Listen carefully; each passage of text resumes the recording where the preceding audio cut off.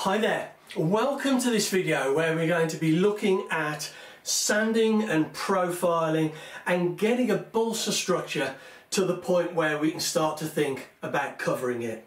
Now I'm going to be working on this flying wing but the things I'm going to be talking about uh, uh, can be related to any kind of balsa structure really, whether we're working on a fuselage or on a wing. It doesn't necessarily relate to just the flying wing. And this is a question I get frequently asked about sanding and profiling, about how it should be done, what grade sandpaper, things like that. So I thought it'd be really useful to do this video. Now this wing has got some big chunks of balsa that still need to come off it before it can be considered a lovely sleek flying machine. So you can see the wingtips, we've got some great big chunks of balsa on there that need bringing down. If we look at the wingtips we can see they're a little bit too long so we need to trim the wingtips and get them nicely in line with those ailerons or elevons, whatever the control surface is, might be the tail plane on a fixed wing plane. When we're doing that we need to be mindful of having the right gap, the right hinging gap because we don't want to get these nicely in line and then find out when we glue the hinges in we got it slightly wrong and the elevons are sticking out.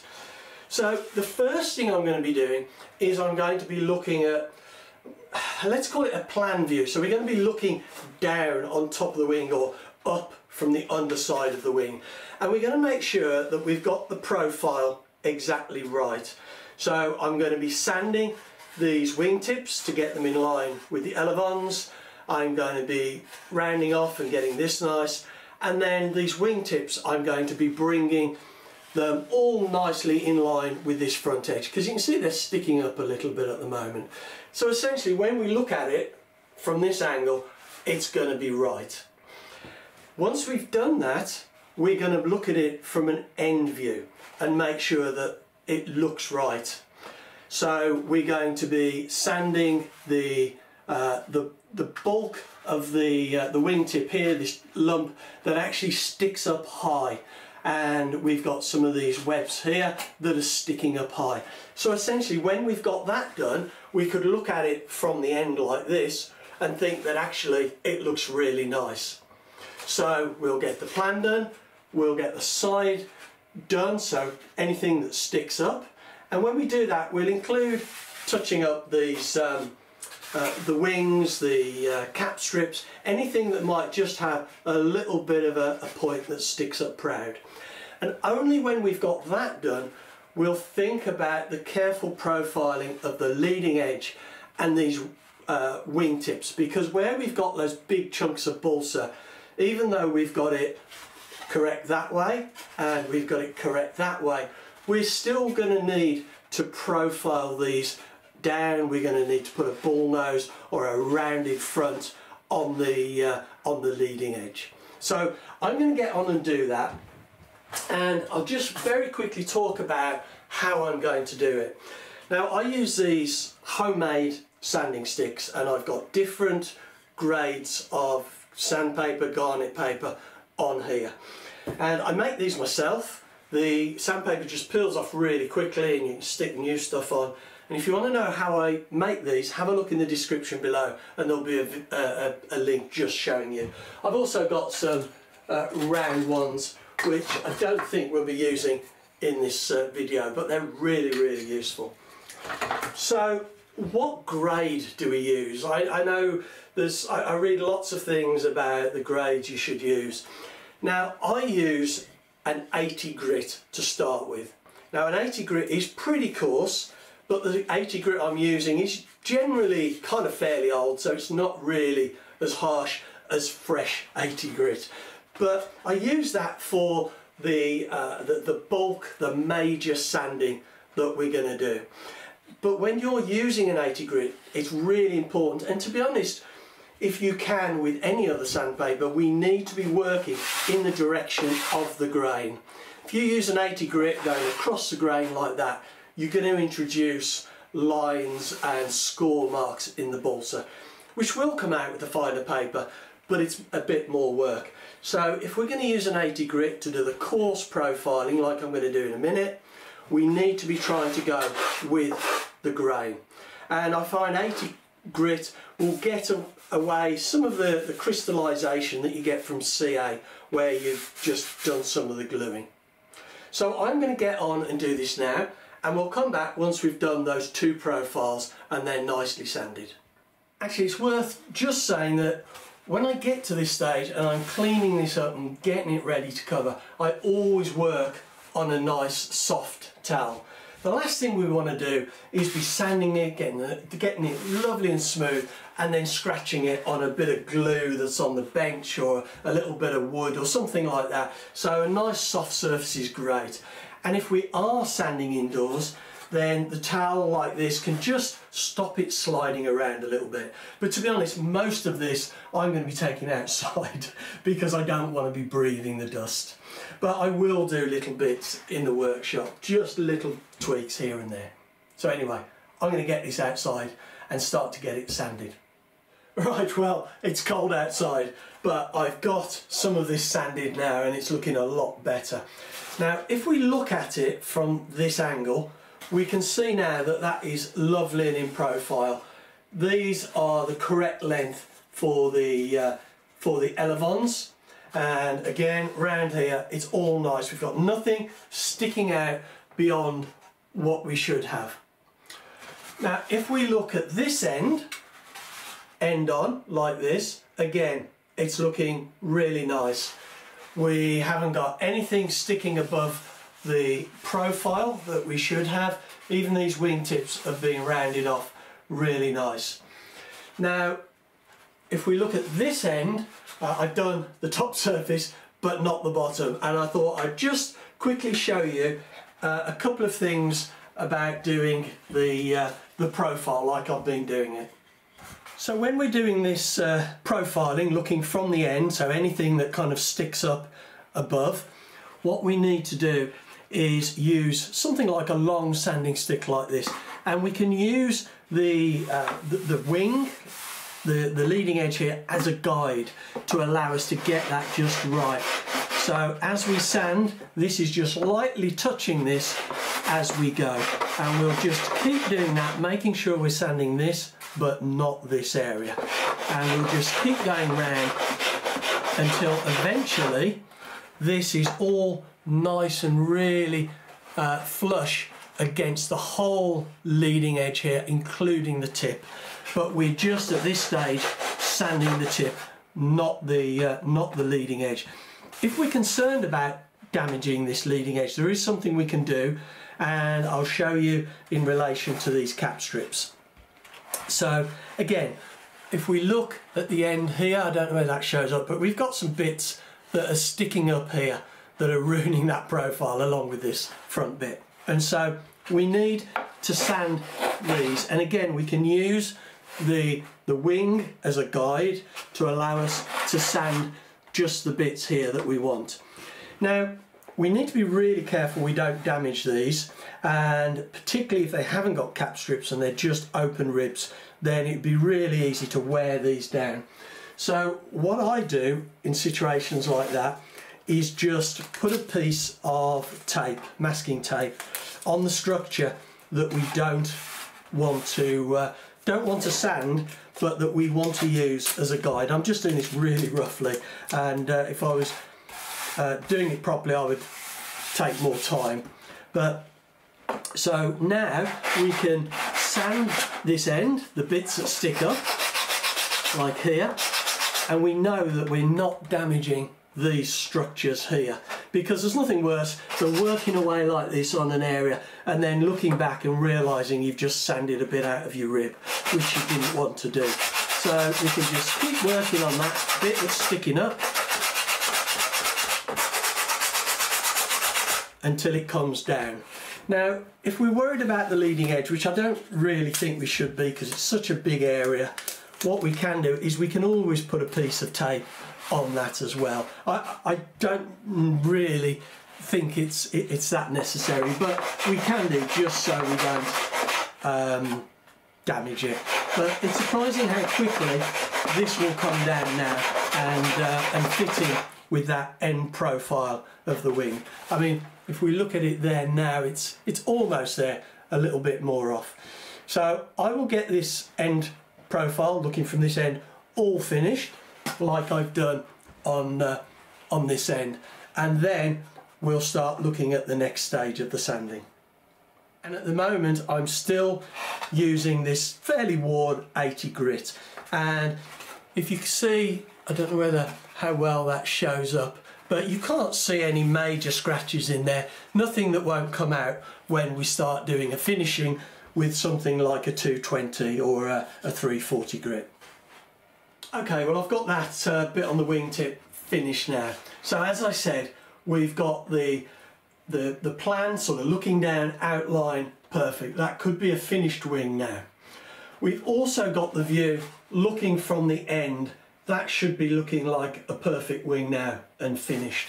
And if we do this, we've also got that end looking exactly the same. So there's nothing sticking up that shouldn't be there. It all looks nice and smooth and as it should be. But the next thing we need to do is look at it from the front or from the back, I guess but I, I would suggest the front. And if we look at the wingtips, and if I can hold that at the right angle, we can see that there's, there's bits sticking up here that shouldn't be there. We've also got bits here that shouldn't be there. And so what we need to do now is get this front view, looking from the front, uh, nice and in profile, so it's right. And I would suggest we work from the back. So from these uh, fillets, uh, triangular pieces, whatever, uh, we'll work on those and get those so that they come down at a nice angle from this cap strip. So we just work them down one by one. And again, if we want to, if we're worried about damaging this uh, cap strip, because as we're sanding that, it is very easy to sand a bit of a bevel on there. We can just put a little bit of that masking tape along here so we don't sand it. So I'm going to get those done now and then I will leave that tip there until right at the very end and I will sand that down, profile it down to the, the edge of this tip but making sure that it fits in with these um, fillets because at the end of the day we need to be very mindful of how the covering material is going to go on when we start to shrink it, how it's going to uh, pull in what direction and, and how, you know, just, just how it's going to go on really and what shape this should be. I find this systematic approach of looking at that view, that view and then that view. And getting those bits that look like they don't belong out the way. Really really good. Just a systematic methodical way of doing it. It's then after we've done this next stage that we not need to start thinking about doing the uh, profiling the leading edge, putting a nice curved bull nose uh, on the front of that. And at the moment, I'm still using this worn 80 grit, but we will get to finer when we start to come to the point where we're going to finish it off. So I'm going to get these wingtips done now. I thought it'd be worth just showing how you can use tape to protect protect these edges here that we don't want to inadvertently sand down and damage. Now you can see this fillet here from the wingtip to the uh, the top of the wing has got some quite big pieces that need to come off. It's way off uh, what it should be. So we need to sand this down and by putting that tape on we are comfortable that we're protecting those edges. So now we can just sand that, and unless we unless we go really mad, we shouldn't uh, go through the tape.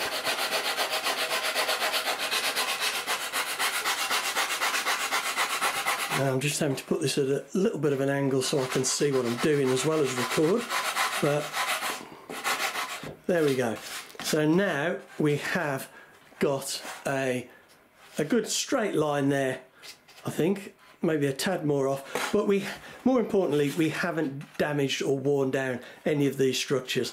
And I can guarantee you that it, I, I would have done if I hadn't put the tape on. So now that is a nice smooth line coming along there. So I need to do that one, make sure these are right, and then we'll have a look at this, uh, this leading edge bit here.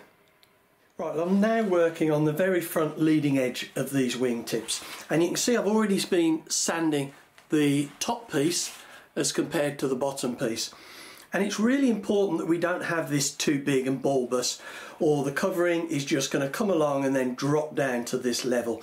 We need to try and think of the smooth transition of the film as it comes up and around this corner. And to help us with that, we can take a, sanding stick like this and then just gently take it up the tip, hit that front bit and then get it around like that. So it's we can feel that transition as we go and, uh, and we get that profiled nicely. And I think that now is, uh, is more or less looking about right. We can see that it's following through this line from the back of the uh, let's move that over a little bit from the back of the, uh, of the uh, the tip like this we follow through and uh, and that will provide a good smooth transition I think for the film. It's a little bit roughed up at the moment but when I get some fine sandpaper on that or garnet paper it will be a lot better. So now I'm going to do the bottom one and the tip at the other end. Well, I'm really pleased with how this is looking now. I've got those front tips done. And so just to recap we've done that kind of plan view. We've got nothing out of place. If we look at it from the end it looks like it's finished it's perfect there's nothing out of place. And now if we look at from the front at those wing tips we can see how they're really nicely profiled as well and once we get that covering film on it's really going to look sweet. It's um, I mean all the gross finishing is more or less done. There's just one final task uh, before we leave the 80 grit behind and move on to something a little bit smoother. And the final job is to do this leading edge. That's one thing we haven't done as yet. Now I don't know how well this will show up on the camera but at the moment the leading edge is really pointed because it's just the two pieces of sheeting that come down to create a point. And we really don't want that. We want a nice rounded uh, rounded profile on the front uh, a bull nose and uh, or at least that's what we call it in the UK I recently found out uh, talking to Richard, one of the, the people who subscribes to my channel, real interesting guy, and he said, what's a bull nose? So we came to the understanding that across the pond in the US, people don't necessarily use the, the term bull nose for the, the shape of the front. But anyway, that aside, and thanks for the education, Richard, it was really good. And uh, what I'm going to do now is put a nice smooth round profile on the nose a bull nose. So I'm going to use a plane and I think I will put my glasses on because that will help me get it right. And what I'm going to do is I'm just going to hold this nice and square on the wing and take off that point. Now I can only do this so much because I can't get in closer than about there because of the engine mount. But I can do that with a, a stick. And can we get in any more if we do that? No, we can't.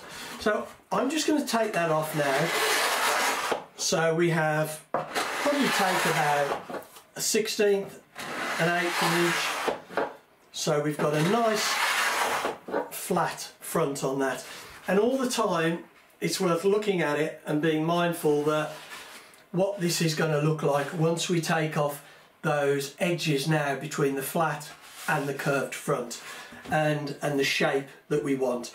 But to take off a flat first is much better than just diving in and trying to sand it off with, uh, with a sanding stick. So, see I'm getting some quite, quite wide strips off there now and um, that is probably getting one, one more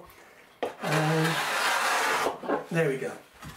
And now we can see that we have gone from a point, hopefully that shows up. I know it's difficult to see because the balsa is so light. So we've gone to a little bit of a flat top now. So what I'm going to do now is just go along that and take off the sharp edge between the flat top and the sheeting and that should result in a lovely bull nose. I think I'll take this outside and do this but you get the idea hopefully. I'll sand, uh, sorry, plane this end as well and then I can do it both at once.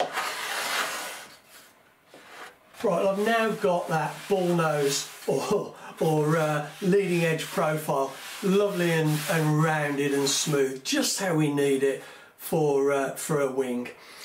So the next stage, I mean this is this is done now as far as the gross sanding. There's no high spots anywhere. There's no real bits that need to be taken down so that they're in the right profile. It's just a case of finishing. And I'm just going to be using this 220 grit sandpaper, or garnet paper actually, on that side of my stick. And it's just a case of going over it and making sure that it really is lovely and smooth. There's the odd bit of sheeting here where I got in and, and, and had to go across the grain and there's a few little scratches there but I'm just going to get those out now using something really fine and then we'll have our lovely smooth profile wing ready to cover. Well I am really pleased now with this. I've, I've gone all over it with the, the really fine 220 garnet paper and it feels absolutely lovely. I need to just wipe off or vac off the dust because it is a little bit dusty but there's no blemishes or high spots or anything. I'm, I'm really pleased with how this has gone. And it's worth saying at this stage that it really is worth spending the extra time and effort to get it right, to make sure there's nothing sticking proud or sort of joints that aren't quite right. Because as soon as you start to get the covering on this, any imperfections are going to show up really well, which is never good when you start covering and you think, oh gosh, I wish I'd sanded that a bit more. So it really is worth spending the extra little bit of effort to, to get it right. And I've said this right at the beginning, but I'll say it again. Any of the techniques that I've used in this video are equally applicable to any kind of balsa model really, whether it's a flying wing, a fixed wing, a jet, whatever. I mean, the, the, the technique I used, if you've seen the uh, video I did shaping the Avanti fuselage, that was exactly the same principle as this, looking at it from one angle, then from another, then from another, and then just rounding off the edges. In, in, fact, I'll, I'll include a link uh, to that video in the description below this, but the principle is the same whether it's a fuselage or a wing. So anyway, I hope you found this useful, hope you found it interesting, and thanks very much for watching.